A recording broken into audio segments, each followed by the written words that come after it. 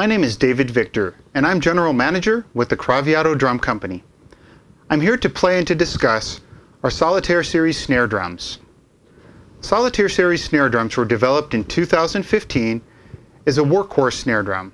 They feature a thin aluminum shell that's perforated twice with our unique diamond inlay pattern.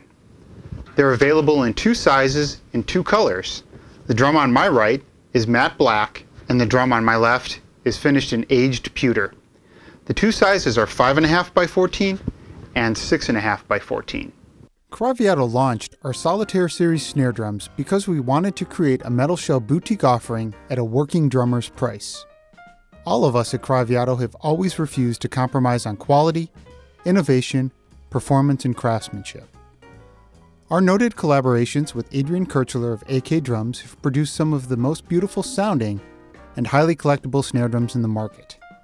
Those drums can be seen on the kits of many renowned drummers and heard on countless recordings.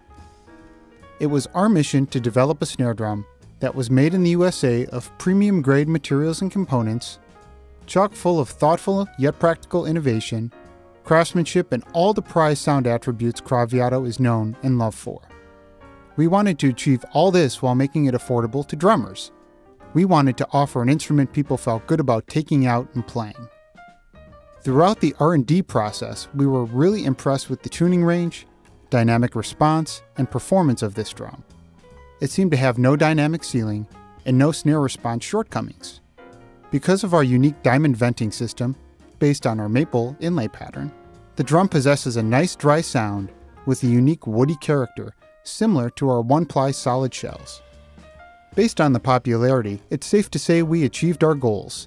The Solitaire filled a void for us in our product catalog and is sure to fill a void in your snare drum arsenal by offering a unique, dry, and versatile snare drum that is sure to shine in a variety of applications.